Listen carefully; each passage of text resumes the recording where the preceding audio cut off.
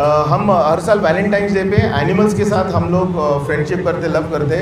मतलब मैं ये नहीं कहता हूँ कि वैलेंटाइन डे मत बनाओ पर हम कहते हैं कि डॉग्स है। मेरे घर में आप मानोगे नहीं, कम से कम एटीन नाइनटीन या ट्वेंटी डॉग्स हैं। और जब मैं काम पे जाता हूँ या विदेश जाता हूँ, मेरे डॉग्स मेरे मम्मी, डैडी का ध्यान रखते हैं एक्चुअली ध्यान देते हैं। कहने को हम उनको खाना खिलाते हैं, पर ये रोड कैसा है मीरा रोड कैसा है, यहाँ पर रात को किस तरीके के लोग आते हैं? दस साल पहले यहाँ पे कितने दंगे झगड़े होते थे? दारू पी के लोग यहाँ बैठे रहते थे, मैं वो सब चीज़ पे अभी जाऊँगा नहीं।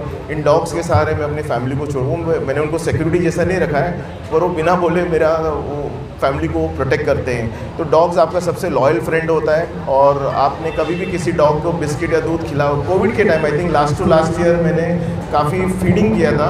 आप मानोगे नहीं, मेरी गाड़ी पहुँचने के दो मिनट पहले डॉग्स कहीं से भाग के आ जाते थे।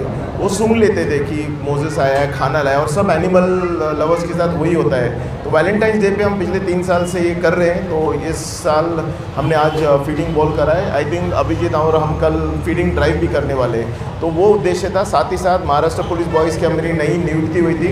तो मैंने कहा कि क्यों नहीं क्योंकि आगे से जो भी प्रोग्राम मोजे चिन्नबा फाउंडेशन करेंगे, उसमें महाराष्ट्र पुलिस बॉयज़ का भी बैनर लगेगा टैग लगेगा, क्योंकि दोनों जगह पे मैं ही हूँ और आपकी टीम है। तो उद्देश्य यही है संजय जी कि आज हमें एनिमल्स लोग के लिए करना था। प्लस जितने भी फ्रेंड्स हमारे ज्वाइन है, मैं इन सबको फ्रेंड्स करके आगे से बुलाऊँगा। इनसे मिलना था, इनसे संपर्क करना था। आधे लोग को मैंने सिर्फ़ फेसबुक पे देखा है और ये सब लोग फेसबुक पे जितना सुंदर दिखते हैं पर्सनली उनका नेचर उससे ज़्यादा सुंदर है। तो मैं बड़ा खुश हूँ कि ये परिवार मेरा इतना बड़ा है और आप सब लोग मेरे साथ है करके। Thank you